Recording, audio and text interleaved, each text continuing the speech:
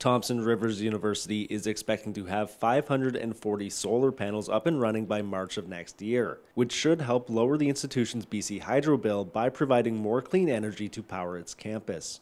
As part of the 600,000 first phase of the project, more than 1,000 panels will be installed at TRU over the next five years.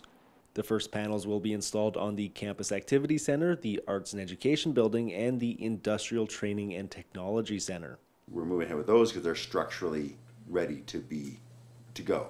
The three options for the remainder, well, the, the 650 uh, other kilowatts, uh, the most likely scenario is structures in parking lots just to house solar panels.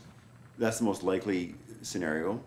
The other two options are retrofitting other buildings so that they can handle solar panels on the roof or ground mounted.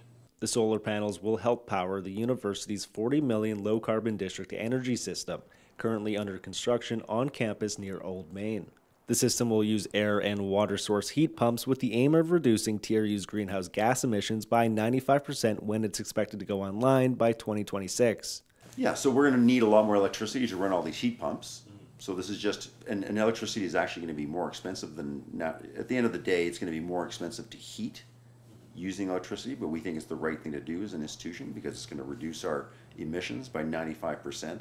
If you think about, you know, uh, your, your um, meter going this way when you use power, so if we're producing our own power, it's going to slow it down.